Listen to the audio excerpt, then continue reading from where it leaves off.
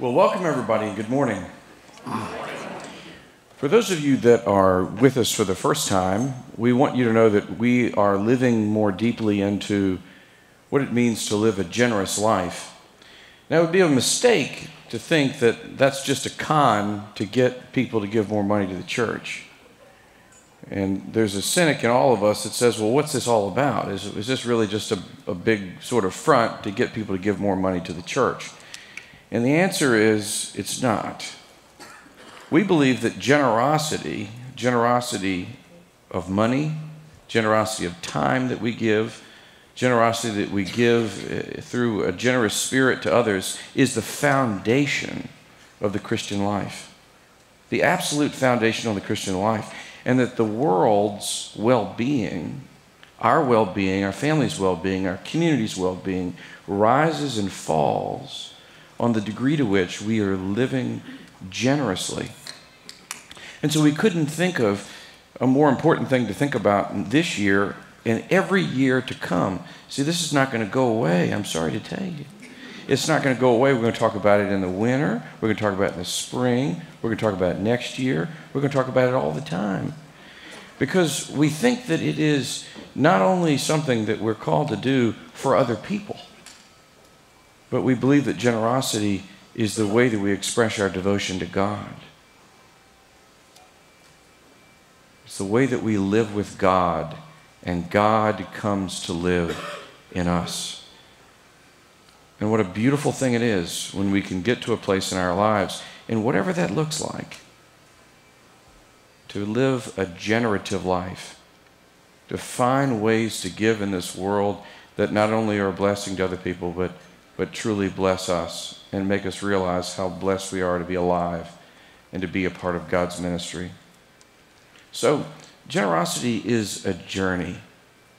It's a journey as we, as we take hold of this concept and as we think about how it integrates into our time, our talent, and our treasure. So if you're just getting started on this journey, welcome. Relax. Um, take it all in. If you're at a place where you're, you're trying to live more deeply into it, welcome. Uh, relax. Let's, let's figure out where the tensions and the struggles are as we think about what it means to be generous. And if you've been on the journey for a while, relax, thank you, and let's pray together about the holy work that God is calling us to do because there's so much work to be done. The Lord be with you. Also with you. Let us pray. Blessed Lord, who caused all holy scriptures to be written for our learning, grant us so to hear them, read, mark, learn, and inwardly digest them, that we may embrace and ever hold fast the blessed hope of everlasting life, which you have given us in our Savior Jesus Christ, who lives and reigns with you and the Holy Spirit, one God forever and ever. Amen. Amen. Well, it's a, it's a challenge and, and also a privilege to try to figure out how to introduce to you Walter Brueggemann. The simple way of trying to do that is to say that there are very few people that have had a greater impact on the Christian family and the church, primarily through it, the formation of clergy and lay leaders, than Walter Brueggemann. He's the author of over 58 books. He is an Old Testament scholar who was first formed at Elmhurst College and Eden Theological Seminary and St. Louis University. He's the son of a minister of the German Evangelical Synod of North America, and he himself was ordained into the Church of Christ, the United Church of Christ. He's been a professor since 1961 and served most recently as a professor of Old Testament at Columbia Theological Seminary, where he retired in the 2000s. He currently resides in Cincinnati and continues to write books that challenge us to move deeply into Scripture. And not just to read Scripture, but to allow Scripture to interpret our lives. as we seek to live out our faith.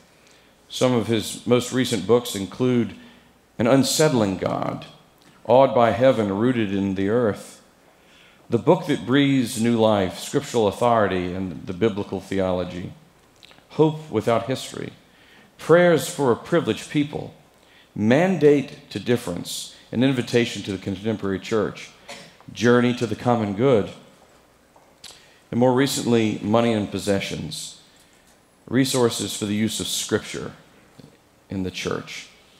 Please join me in welcoming to Christ Church Walter Brueggemann.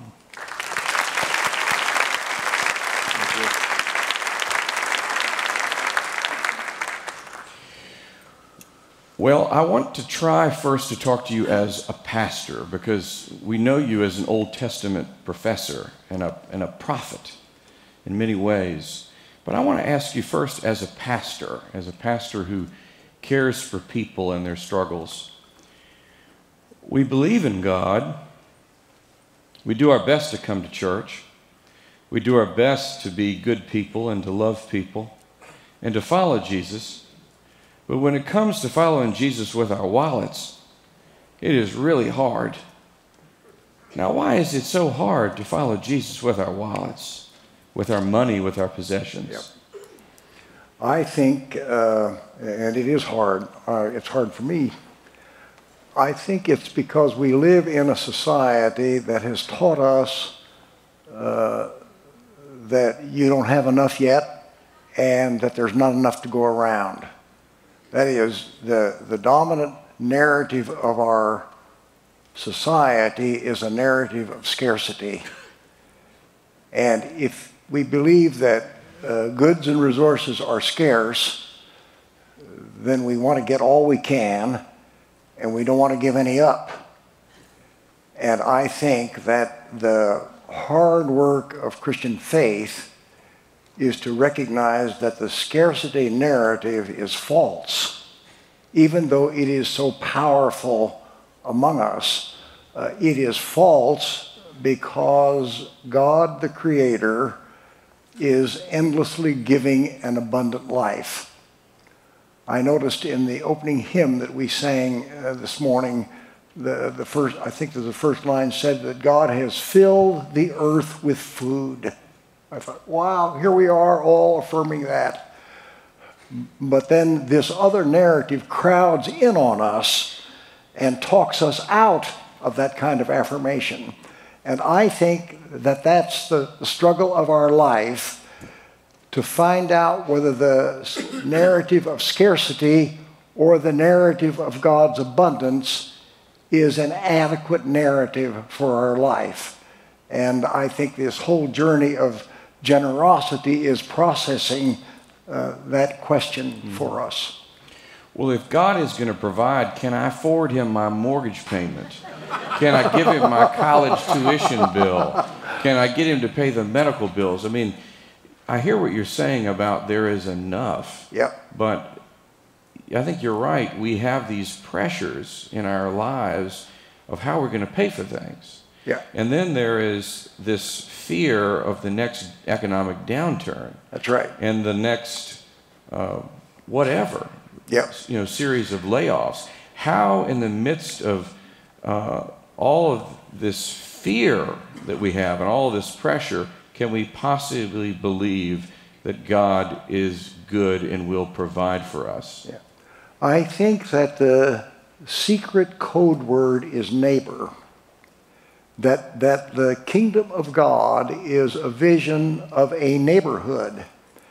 And what you know about a neighborhood mm-hmm. is that if you have a trouble, a neighbor will pick it up and will sustain you. That's what a neighborhood is. Mm-hmm. But the, the narrative of scarcity wants us to believe in uh, radical individualism that there's no one that I can trust, no one that I can count on, no one to whom I am obligated. There's only me.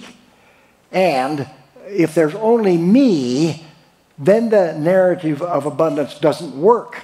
It has to do with all of us trusting each other and sharing with each other. And neighbors neighborhood has resources that I myself uh, can't muster. And what happens to us, I think, is that the, the more we grow self sufficient by ourselves, the less the neighborhood stays on our horizon. Uh, so it's very difficult once we become uh, propertied and possessive and self reliant and self sufficient to imagine that the neighborhood has resources that I myself do not have to muster. Mm-hmm. Uh, so I, I really do think that the, the, the whole vision of neighbor, uh, and, and I think that's Jesus, one of Jesus' primary questions about who's the neighbor mm-hmm. or where's the neighborhood, mm-hmm. uh, is uh, rela- deeply related to the question of generosity. Mm-hmm. It's a question of uh, toward whom can I be generous? But it's also a question about who is being generous toward me. Mm-hmm. And uh, when Jesus uh, tells that dreadful story about the man who tore down his barns and built bigger barns, he had no neighbors. Mm. Uh, he lived alone and he died alone. Mm-hmm. Uh, I think. Well, this is a part of the narrative because we don't live in neighborhoods like we used to. We live in a transient world we live in a world where, where some of us have family members around us and some of us don't. That's some right. of us have families scattered around the world because we've, we've lived in different places. We move with jobs, and some of us have no family at all. That's right. And so we're faced sometimes with sort of looking down the barrel of what might be coming or what we're feeling at a particular moment. Yeah. And then there's a part of us that says, I don't want to have to have any neighbors. Back to this self reliant thing. That's if right. I'm really a man or a woman, if I'm really successful, then I shouldn't need any help. I should be able, the kind of person I can provide for myself, and it's shameful if I ever have to receive any yeah. help. And and I and think I, and I've experienced that myself. Yeah, yeah, yeah. I think the Christian narrative says that's a lie. You you cannot finally live alone. You cannot finally sustain your own life, but you depend on the resources of the neighborhood. Mm-hmm. And the more and the sooner that we recognize that, uh, the better we will be about this whole crisis of scarcity because neighborhoods have resources uh, to which I can contribute and from which I can receive. And I think that the church, the local congregation, at its best is a modeling out of neighborliness and of neighborhood. Mm-hmm. And, and that means that the church uh, can't just be a, a, a drop in service, but it's got to be a community uh, from whom we receive our life and to whom we give our life back in, uh, in missional mm-hmm. responsiveness. Well, this is a very different approach than I'm an attender or I go and I check the box, or I take my kids and I drop them off, or I come a little bit, a little bit there, but I'm not, I'm just sort of not really in. To, to move to a place of covenant, of thicker covenant, of thicker relationships bound up in the, the baptismal vows. That's right. Seems to me to be the hope and the ideal. But it pushes us, though, to say that, that, that great question that the scripture asks who is my neighbor? How do you answer that? How does, how does Scripture answer that question? Who is my neighbor? It seems to me that we're about extending the neighborhood. Yeah. Well, I suppose you could say that the Scripture gives many answers, but basically it is either, uh, the scriptural answer is either my neighbor is the one in need or my neighbor is the one who shows mercy. So my neighbor is the one who is engaged in this process of giving and receiving with me and with us. Mm-hmm. Uh, and, and I think that the, the, the, the ideology of scarcity wants me not to receive anything and not to give anything, but to live in a silo. And what we know, we know economically, we know emotionally and psychologically that living in a silo is a death sentence. You can do it a while, but you can't do it. Uh, and, and, that is why uh, baptism is not a, is not a private deal between me and Jesus, but baptism is signing on with the community. Uh, the other day I had a uh, I had a conversation with a mother whose son was playing soccer on Sunday morning. And so the whole family went to soccer on Sunday morning. And I asked her about that, and she said, Well, he has to go. He's a member of the team. And I wasn't quick witted enough to say, Well, if he's baptized, he's been a member of this team a long time before the soccer team was organized. Mm-hmm. So we are members of the team. Mm-hmm. And being members of the team means to show up for practice and be there on game day and so on and so on. Uh, but, but we've got a, a, very, uh, I think we have a very anemic understanding of the church uh, in which uh, membership uh, really means showing up and being on the team and contributing to the team effort uh, when it's inconvenient. So, baptismal faith seems to me to be highly inconvenient. Mm-hmm. And I, I always think about myself that I'm willing to die for Christ, but I don't want to be inconvenienced. And that's kind of.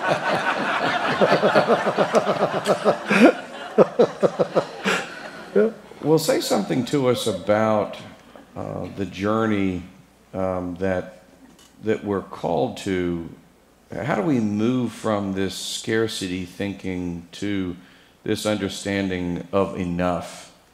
Uh, how do we know when we have enough? Uh, what does enough mean? Well, uh, the notion of having enough is uh, rooted in the grace of God, which is limitless and unconditional which means my worth is already established in God's goodness, and my worth does not depend on uh, succeeding or achieving or possessing or consuming more. So, God's grace, uh, it, when, when I really can be situated in it, uh, overcomes my restlessness about having to hustle more to establish my self worth. Uh, but what Christian faith knows is that that gnawing power of inadequacy, uh, which I suppose you'd say is the work of the devil or something uh, out beyond us, uh, is not the truth of our life. The truth of our life is that God's love has established our worth and it does not need to be enhanced. Mm. So, what I need are uh, sufficient resources uh, to live with dignity and security and well being but that's exactly the same that all my neighbors need is dignity, security, and well-being. And uh, when I think that I need more and more, that leads me not to notice what my neighbor's need is. So I think the secret, I think the secret is that it's all a gift. Uh, in I think it's in 1 Corinthians 4, Paul says to that church, What do you have that you have not been given? And of course, Paul means to say, You don't have anything that you haven't been given. It's all a gift to you. And the, the, more, the more successful we are, the more we get seduced into thinking that it's not a gift, but it's an achievement. Mm-hmm. And our achievements talk us out of it being a gift. Well, I mean, I'm sorry, I'm just going to have to disagree with you there. Okay. Because, you know, I went to college, I went to graduate school, I've worked my head off, I've earned every bit of money that I've ever made, and it isn't God's money. Your life is It's just like my mine. money, okay? it's my money. Yeah. It's not God's money. That's right. God wasn't in the office last week, Yeah. okay? God hadn't been traveling around the world. You know, God hadn't been, you know, s- having insomnia. Yeah. All right. So why is it Well, I think God, He neither slumbers nor sleeps. Yeah. so, so why? Christian, the Christian life says that our degrees and our occupational success and our money are all responses to God's gifts. None of those things that you have done and that I have done add a cubit to our worth because our worth is already settled. Now, if I think that's all a possession, that leads me to self congratulations. If I think it's all a gift, that leads me to gratitude. Mm. And gratitude is the ground of generosity. Self achievement goes like this, gratitude goes like this. So one of the one of the good disciplines for generosity is to practice physically bodily doing this, go like this, go like this, go like that. It's it's it's limitless. And I often think, I don't always think, but I often think at the Eucharist that we're the only community in the history of the world whose primary sacramental symbol is called thanks. Because you know the word Eucharist is the Greek word for thanks. So Eucharist is an incredible acknowledgement. It's all gift. It's all gift. And more gifts are being given. And I can share the gifts that have been given to me because more gifts are being given to me. Now that's so dead set against the narrative of scarcity. And I think that most of us are spending our life trying to decide how much we can go like this instead of like this. I think. So the abundance of God, how is that measured? How is that experienced? The abundance of God. What do you mean by the abundance of God that we're called to practice and live out in our lives? I think it is, I think biblically it's grounded in creation. That, that, that the world is indeed God's creation that God has made fruitful. Uh, so already in Genesis 1, he said, Be fruitful, be fruitful, and he blessed it and, and all that. And the, the great doxological psalms uh, are uh, exuberant, almost inexpressible awe at the fact that the world overflows with the goodness of God. Now, what we can see, if you believe in something like global warming, what you can see is that our greed has uh, caused the earth to shrivel in its productiveness in terms of the way we've wasted and exploited and abused the gift giving processes of creation. But you know these, these texts well. In Psalm 145, it, it's, a, it's a psalm we often use for a, a table blessing. The eyes of all wait upon you, and you give them their food in due season. You open your hand and you satisfy the desire of every living thing.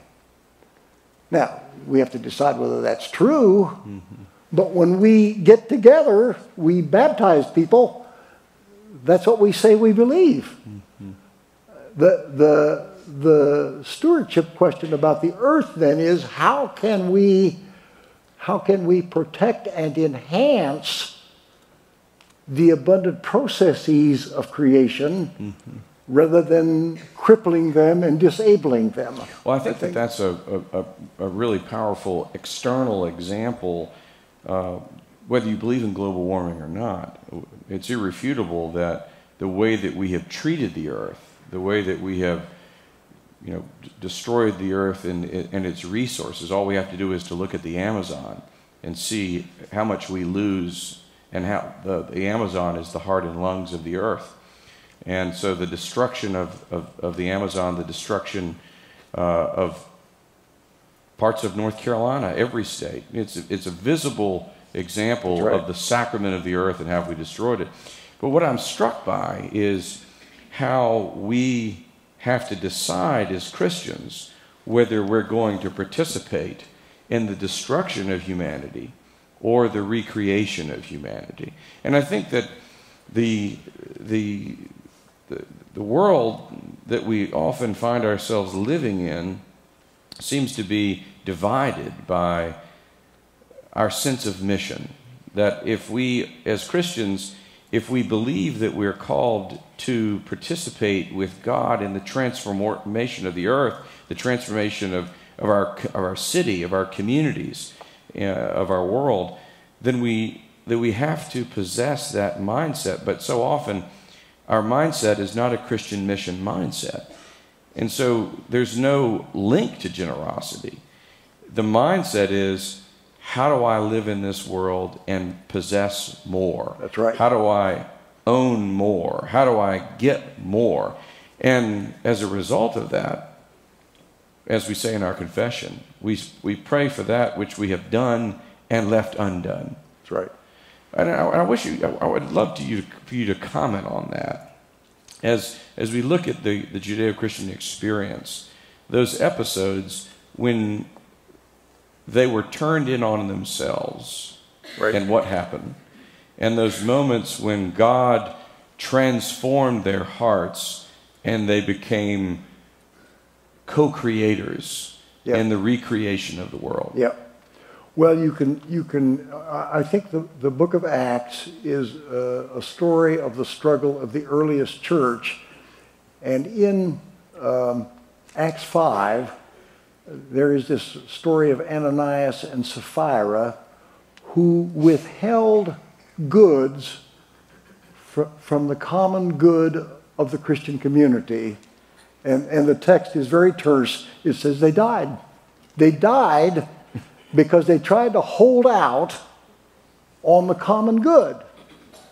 Contrast that with Acts 4, in which Peter and John are on their way to the temple and uh, they meet this, uh, I think he's blind or he's a, he's a beggar. And Peter says, he asks for alms, and Peter says, We don't have any gold, but in the name of Jesus, get up and walk. So, so the, the earliest church is portrayed as having no material resources, but having the juices of healing life. And it may be, if you, if you look at Acts 4 and Acts 5 back to back, that what those narratives are suggesting is that the more the early Jesus community tried to gather property for itself, unless it had transformative power in the world.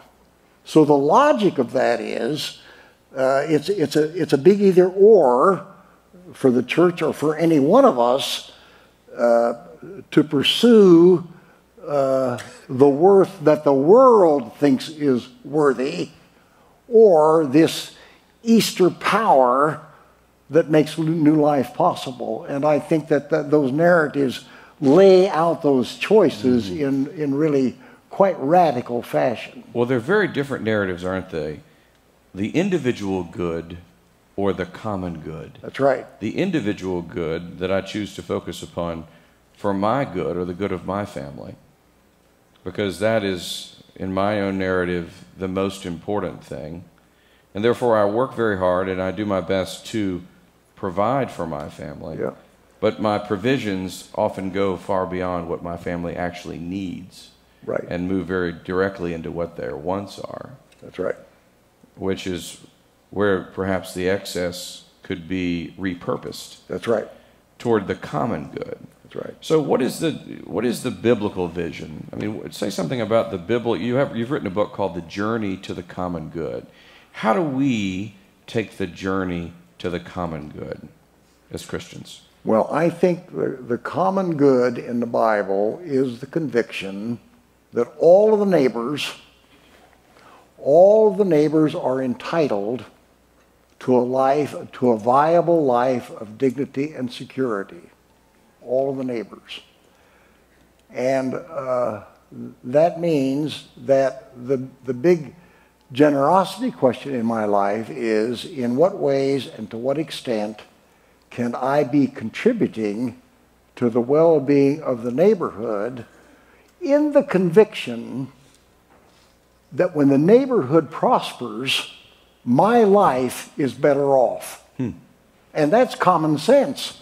If, if, if, if the neighborhood is not filled with greed and fear and violence and crime, that that that that, I'm better off. I cannot build walls of privatism high enough to make me safe and cut me off from the reality of the neighborhood. So it, it is really uh, long term pragmatism to be saying that my investments in the common good of the neighborhood are, in fact, an act of self interest. Mm-hmm. I think.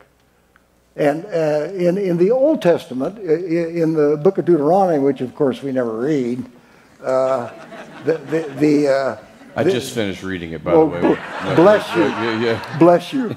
But, but the, book of, the book of Deuteronomy is the, is the interpretation of the Ten Commandments toward the common good. That, that's what Moses is doing in that book.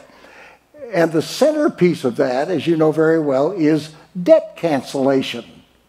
Because the economy of scarcity creates a tension between debtors and creditors to where debtors will never pay their debts. That, that's the economy we're not caught in. Mm-hmm. Those debts are never going to be paid.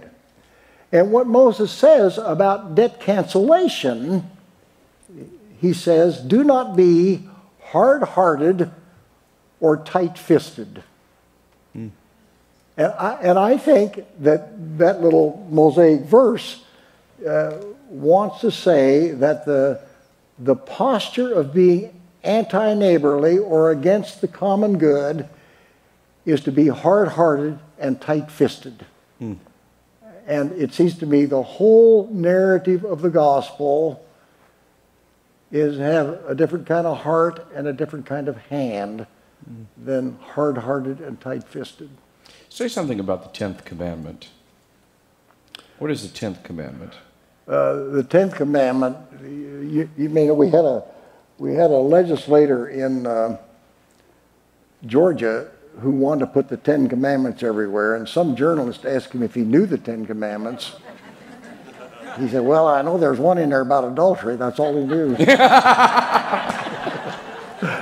well, the Tenth Commandment is, Thou shalt not covet. What does it mean to covet? It means to want stuff that belongs to other people. And what's interesting about that terse little commandment is it uses the word neighbor three times. You shall not covet your neighbor's wife, that's patriarchy. Uh, you shall not covet your neighbor's house. You shall not covet anything that belongs to your neighbor. And well, what if you do that on the way to church on Sunday? I mean, that's well, very... you need to come and confess your coveting, I guess. uh, uh, that commandment is aimed against an acquisitive society whereby the big ones eat the little ones. And I've tried to make the argument that, that the Ten Commandments are, uh, you, you, know, the Ten Commandments begin, I am the Lord thy God who brought you out of the house of Egypt, out of the land of slavery. The Ten Commandments are to protect us from the practices of Pharaoh. And Pharaoh in in the Bible is a metaphor for greedy acquisitiveness. So the purpose of the Ten Commandments is do not act like Pharaoh. Do not act in greedy acquisitiveness. Do not think that it's right to get more at the expense of your neighbor. Uh, and I think it's uh, hugely important that that's the 10th commandment. It is the, it is the point of accent for the whole thing, I believe. Mm-hmm. Uh, and it, it matches, the, the 10th commandment matches the first two commandments uh, thou shalt not have no other gods, and thou shalt have no graven images, which means thou shalt not worship gold things. So the commandments start with God instead of gold and end with neighbor instead of coveting.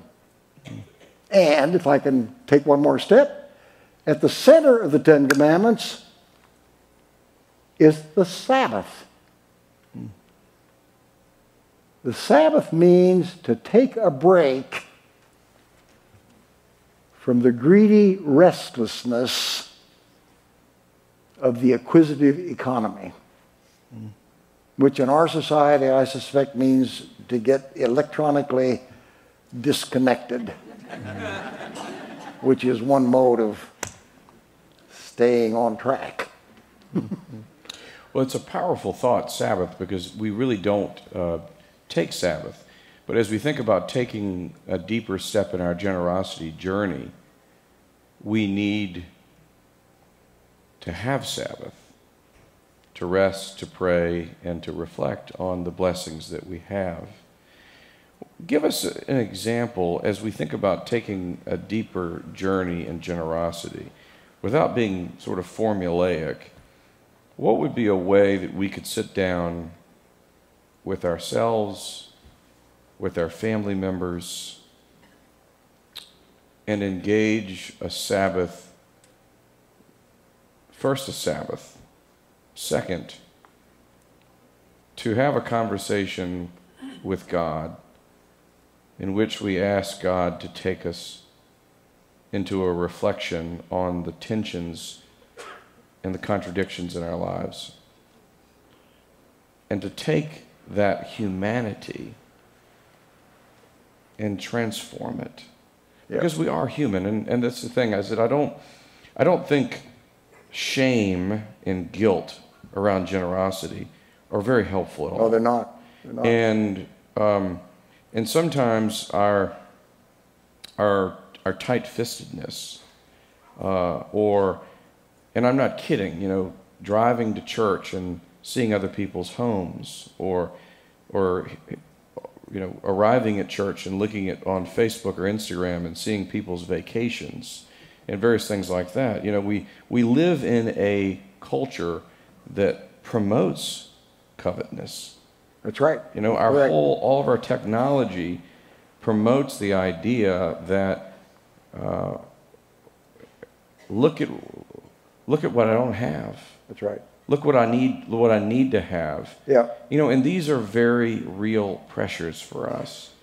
Uh, soon we'll be moving into Thanksgiving and Christmas. Yep. And at Christmas time, we absolutely need to make up for all the mistakes we've made by being as ridiculously generous as we can to show and demonstrate our love to our loved ones, right? Yeah.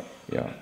yeah. Uh, so we're in this cycle, Walter. You know, we're in this cycle, we're in this culture, and it's not just about greed, it's really about the human heart. That's correct. It's about how our heart is possessed and, and captive yep. to cycles and culture. And it's so hard to break, Walter. It is. It's so hard to break when our children come to us, and, and in some cases, grandchildren and their wants are not wants, but they are. I mean, their needs are not needs, but they're but are often are wants that far exceed anything that any of us could ever have imagined having as children. Okay, right. so we're bound up, and we need a Sabbath. Right. So, what is that Sabbath? What might that Sabbath look like? And what might that journey of transformation look like to be freed from the captivity that we find ourselves yeah. in? And I don't, I don't think I know the answer to that, but I, I'll try to make it. well, thank you for coming today. Very, very, I, I think that uh, people who are as uh, successful as we all are are always getting and taking initiatives. And Sabbath is to break that cycle to be on the receiving end, not the initiative, but the receiving end of God's gifts. I think uh, among the ingredients for that is a stillness in the day, a capacity to count blessings, to count blessings with our children and grandchildren. And if, you, if we do that regularly, our awareness grows of the range of blessings that have come to us. It includes food that Jews know ought to be prepared the day before, to include people in the food that you do not count as your normal friends. And I think it includes overt acts of generosity to say to the children and the grandchildren, what overt act of generosity shall we commit together today? Mm. You know, that might be picking up trash on the highway. It, it might be many things. Now I'm going to say something inflammatory. The NFL now has the slogan, We Own Sunday. And the NFL, excepting your team, is a liturgy of money, violence, and sex. That's what the NFL is. I think, given that phenomenon in our society, Sabbath means disengaging from that because money, sex, and violence are not a helpful way for us to count our blessings when it's predatory. So I think quite dramatically and visibly and concretely, that's, a, that's an interesting question for us to struggle with. Mm-hmm. That, that if we're going to keep Sabbath, it really means to be inconvenienced to stop doing some things we readily and easily like to do because our children and grandchildren need to see us regularly and physically not having our lives propelled by more initiative taking. Mm-hmm. That's what I think. Well, I don't find that easy. Well, I, know, I understand, and I'm going to respectfully disagree with you about All the right. NFL. Uh, because and I and I understand what you're what you're saying, and I think that there there's imagery and and there are issues uh, that that need to be explored uh, around violence and and you know the the self-aggrandizement. But what my dream is is that people will come to church before they go to the Panthers game. That'd be good. Okay. That'd be good. And and that you know and that if they're going to go to a football game, you know, I think that can actually be a great experience for the family together to spend some time and connect, or even watching it at home. And I and I think actually, you know, whether it's NFL or um, college football, roll tide. Uh, you know, it can be um, uh, easy now, easy. Okay, I think I think that uh, I guess what I'm saying is um, I feel like it's not necessarily sometimes the things, but what we how we decide to understand them. Agreed. Okay, and and if if the NFL um, if Sunday, if football on Sunday, or or tennis on Sunday, or soccer on Sunday, or whatever, um, begins to supplant our Christianity, if it begins to supplant, uh, and I do think football on Sunday is the largest liturgy without question on Sunday. And I think that is something that's worth naming and being aware of. But I don't know if they're mutually exclusive. Uh, but I think the real question is what has gotten captive of our heart? I think that's right. You know, yep. if, if something, anything, it seems to me, that, and I think this is where we can agree, anything that supplants our relationship with God, whether that's football, whether that's video games, whether that's work, yep. whether that's shopping, that's where we're going to really get controversial. That's right. Okay? That is idolatry. That's right. And I, I suppose I mentioned NFL instead of shopping because uh, I'm not attracted to shopping. Yeah. okay. Yeah. Uh, but um, but I think I think you know one of the things that we do in Sabbath is we're invited to think about what our idols are. That's right. That's right. What are the idols? What are the things that have taken hold of us? Yeah. And so we're given this opportunity to repent. What does it mean to repent? Uh, it, it means to go the other way. Mm-hmm. And I think the, the way we've been talking, it means to, um, to uh, give up that narrative of scarcity and greed and put our buckets down in a narrative of gift and gratitude. Mm-hmm. I, I think that's in, in our economy, I think that's the work of our life. Mm-hmm. And it's not easy work. Mm-hmm. But it is such liberating work. I love the idea of um, a different way. I love the idea of a different way being a better way. Yeah. A better way. That, that we need to name the idols in our lives. We need to name the, the things that possess us, uh, the temptations, the, the culture. But perhaps with prayer, with Sabbath, with taking a deeper journey in generosity, we can find a better way. And I love this idea of what you said of what is an overt thing that I can do to be generous. And I, and I want to just, you know, as we sort of wrap this up this morning um, and continue the conversation, I'd like to invite you to do what Walter has just suggested. And that's to create a space in, our, in your life, in our lives, uh, for Sabbath, for prayer for contemplation, to realize that we're human and that it's, we're created human. And part of the human experience is living with this struggle, with these struggles. But through Sabbath and prayer, we can find a better way.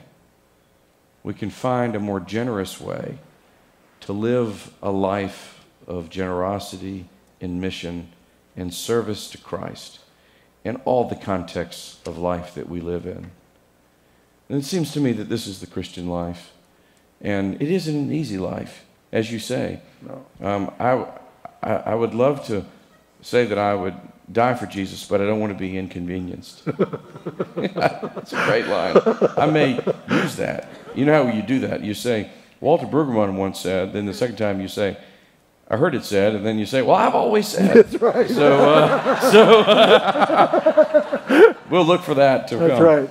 As we prepare to leave today, Walter, you have blessed us with such incredible uh, prophetic engagement around some of the, the struggles that we have as human beings and as Christians. And would you pray for us that we might have the courage to create this space to listen to God and to take a deeper journey in generosity. Sure, I will. The Lord be with you.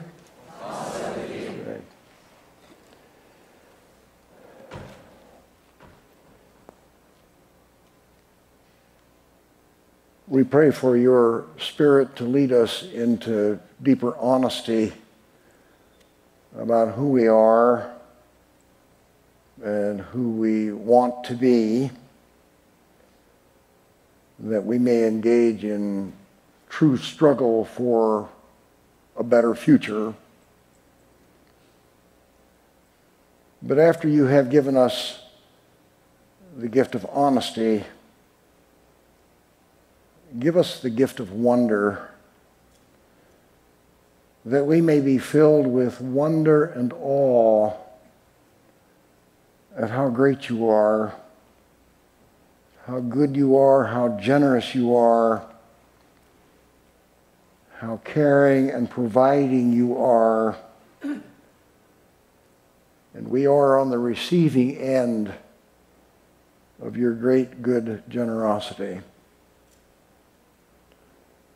Give us the courage and the freedom to resituate our lives in the territory of gift and neighbor and gratitude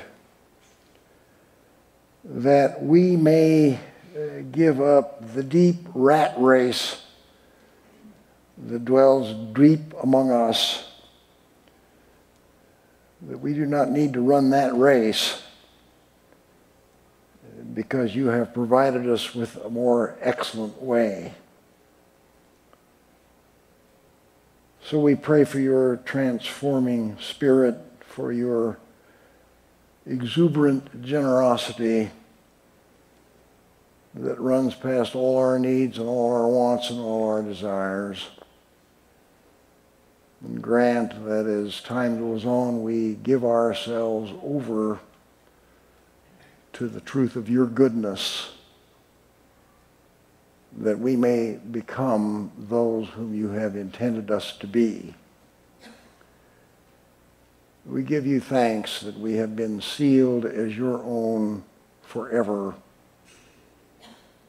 Grant that the truth of our baptism may grow deeper and deeper in our daily practice. We pray in the name of Jesus, who was the fleshly revelation of your generosity. Amen. Amen. Thank you.